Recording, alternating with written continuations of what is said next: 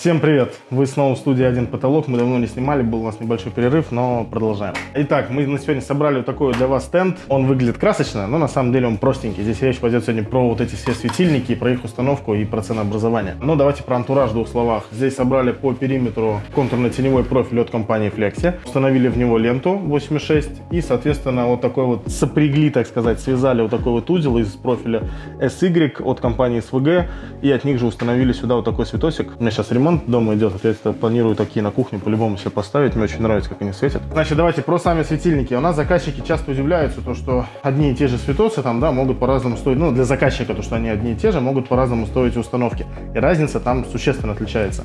Я буду называть сейчас с ценами вам говорить. Они плюс-минус актуальны на сегодняшний день, потому что все, все течет, все меняется. Вот, но тем не менее, погнали. Самые стандартные светильники на сегодняшний день это вот такие вот GX53. Ну и MR16 тоже можно рассматривать. Светильники, которые которые заведомо имеют вот такое вот углубление под вот это термокольцо. А, наверное, надо начать такое термокольцо, то многие даже не поймут. На натяжном потолке нельзя просто взять вырезать дырку и все, и вставить туда светильник. Туда устанавливается платформа и, соответственно, клеится вот такое вот термокольцо. Вот, иначе у нас полотно дальше расползется. Соответственно, вот эти светильники, также как наряду с эмерками, ну, как правило, и марками, как правило, все имеют вот такое углубление под это кольцо. Соответственно, установка такого светильника на сегодняшний день стоит 300-400 рублей, там, в зависимости от регионов, туда-сюда и так далее. Вот, ну, 300-400, да, запомнили. Эти же светильники, понятно, можно установить с внутренней вклейкой. Что такое внутренняя вклейка? То же самое кольцо, только приклеенное с обратной стороны. Здесь надо понимать, то, что работа по установке вот такого уже кольца, она как бы она несложная для опытного мастера, но в то же время она занимает дольше времени. И появляется, всегда появляется вероятность при работе с клеем на потолке, там вот неудобно и так далее. Что-то испортить с полотном сам попадал, так когда у меня протекал клей, и ну, просто меняли потом полотно, то есть здесь ничего такого нету. Соответственно, вот такие вот светильники, если мы там берем какую-нибудь однушку и установим туда 30 светильников, мы это сделаем за час, вот это мы будем делать часа два, может быть и поболее. Соответственно, работа это стоит дороже. Внутренняя вклейка кольца на сегодняшний день стоит порядка там 600 ну, короче, давайте на 600 остановимся, 600 рублей. Казалось бы, на этом светильнике вот это вот не требуется внутренняя вклейка кольца, но она нужна, когда вы покупаете вот такие светильники. Эти светильники у нас сегодня люминотевские все. Видишь, здесь уже нету этого бортика. Соответственно, у заказчика встает выбор. Либо мы вот так вот его прям установим, и будет зазор. Вот как раз вот этот зазор, там 2 миллиметра. Многие заказчики не хотят за это переплачивать, и они заведомо говорят, вот, их предупреждают, им показывают, но они хотят установить именно так. Это неправильно, но мы так сделать можем. Как говорится, любой каприз за ваши деньги. В данном случае не деньги. По-хорошему это должно делаться вот так. Соответственно, ваши светильники, которые вы купили, красивые, не дешевые, да, они будут хорошо выглядеть, они будут плотно прилегать к потолку и так далее. Вот, если вы не готовы платить за их установку, тогда, может быть, и светильники стоит попроще выбрать. Ну, как мне кажется, не знаю. И давайте перейдем к квадратным светильникам. Здесь э, тоже это вот следующая уже категория цены. Бывают квадратные светильники, когда он вроде как бы квадратный, но ты его достаешь, и внутри у него платформа круглая. То есть вот это от этого ничем не отличается. Это ну, один производитель и просто разная форма. Соответственно, за их установку с вас дороже никто не возьмет. Будет столько же стоить, рублей 600, просто внутренняя вклейка и круг. Почему? Почему я говорю, ну, акцент делаю на круге?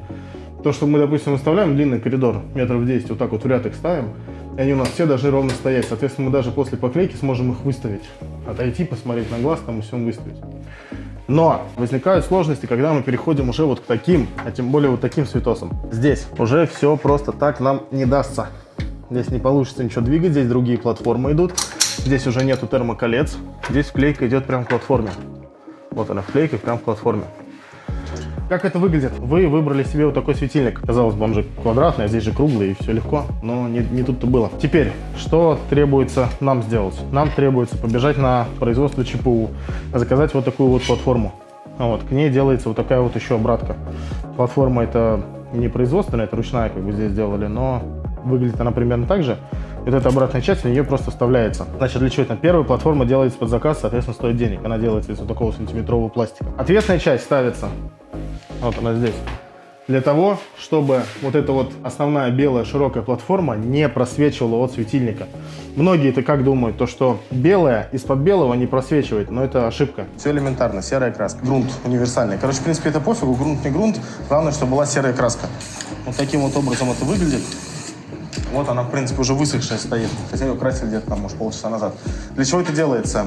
А, значит, вот здесь вот специально оставили белую платформу, чтобы показать, затянули. А, стоит платформа белая, вот она и она просвечивается, то есть мы ее видим. Здесь будут совсем маленькие такие споты а, стоять, вот, и, соответственно, вот этот ободок мы весь будем видеть, весь ореол. И это не очень симпатично. А, допустим, вот здесь вот а, стоит уже покрашенная платформа, вот я ее трогаю, и ее уже не видно, то есть даже если вот так обтянуть, она не просвечивает. Если вам надо затемнить брус или какую-то большую фанеру из, ну, это платформу из фанеры, да, не надо использовать белую краску, многие вот так вот ошибаются. Надо использовать вот серую эмаль, можно использовать серый грунт, но ни в коем случае не белую краску. У вас будет прям белесое пятно поверх белесого потолка. Соответственно, чтобы вот этого всего не было видно, вот, сюда ставится вот эта ответка. И только после этого, а нет, после этого еще самое сложное, самое сложное, начинается разметка. Представьте 10-метровый коридор, в котором вам надо установить вот такие вот прямоугольники в одну линию, чтобы потом визуально все это выглядело четко. Вот. Соответственно, здесь надо уже применять и лазера, и нитки натягиваются и так далее. Все это 10 раз перепроверяется и прочее, прочее, прочее.